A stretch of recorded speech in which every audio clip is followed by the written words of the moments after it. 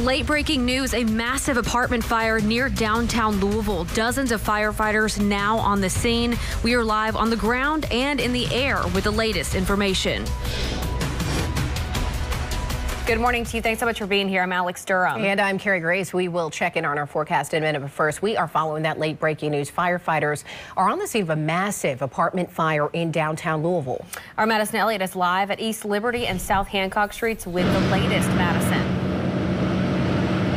Hey guys, good morning. Well, the good news, nobody was hurt. So that's the first thing we want to report. Luckily, firefighters say they didn't have to rescue anyone. But now we're joined live by Captain Donovan Sims, the public information officer for the Louisville Fire Department.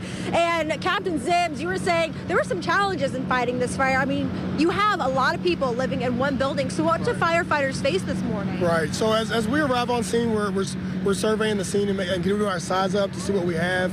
And uh, companies quickly get inside the building, try to evacuate as many occupants as possible as they're searching for the fire. So uh, while we're in the means of doing that, and we're, we're, we're, getting people out, and then we see that we have fire coming through the roof, and we have to evacuate that structure completely, and, including firefighter personnel. And we're fighting this fire in a defensive manner, meaning that we're on the exterior of the, uh, the building.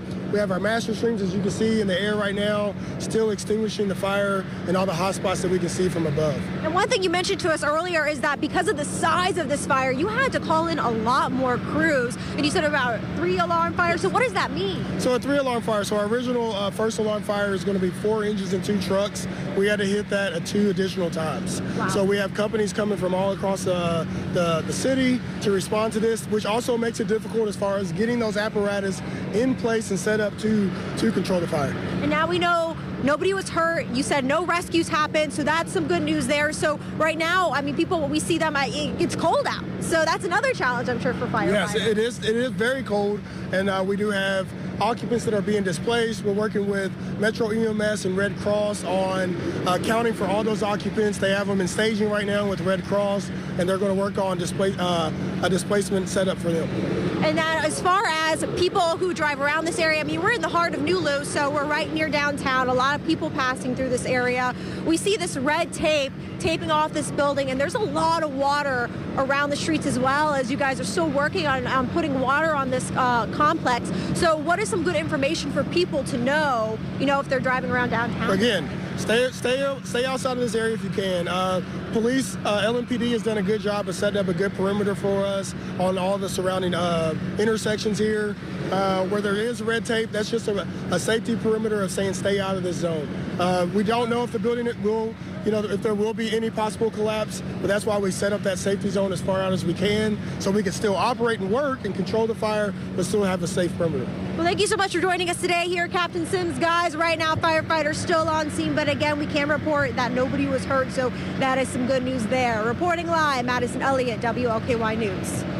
Madison, thank you so much. Our WLKY News chopper has been flying high above the scene all morning with a bird's eye view of this situation. Yeah, uh, Bill, we know you've been up there for a while. There was massive smoke billowing from those apartments earlier. Uh, it appears a lot of that smoke is gone, but describe the scene when you first got there. Hey, good morning, Terry and Alex. Uh, yes, we're uh, in the NuLu area. Most folks uh, know where that is, uh, Hancock and Liberty. And when we arrived on this scene, uh, about 7.30, uh, about an hour and a half ago, there was massive amounts of smoke that was billowing out of the structure here. And at that point, there was still quite a lot of flames that were coming out. As you can see from this shot now, it looks like the Louisville Fire Department has uh, gotten this structure fire under control. Uh, the interesting thing that we saw earlier was the massive amount of water that was going on. There was perhaps a, a bad description, but the waterfalls of water coming out of these windows right here. And I imagine that uh, the fire department is going to be here uh, for the better part of today and continue to put hot spots out. Back to you guys. Thank you so much. And, you know, you can see there are still many hot spots there. We're mm -hmm. sure that there are going to be crews there all day monitoring that scene. We also heard from Donovan, you know, who is with the Louisville Fire Department, and he talked to us about uh, just how the building is, you know, still in danger. There's the possibility of collapse. So that's something that we're going to continue to watch throughout the day. And from that chopper footage there, you can see Yeah. The top floor of those apartments. It looks like it looks yeah, like you the can see right into there. And again, Bill also mentioned the water that was billowing out of Mm-hmm. those windows. You can see just how much water was being put on that fire, uh, which was an incredible scene to see. But we're just glad everybody is safe.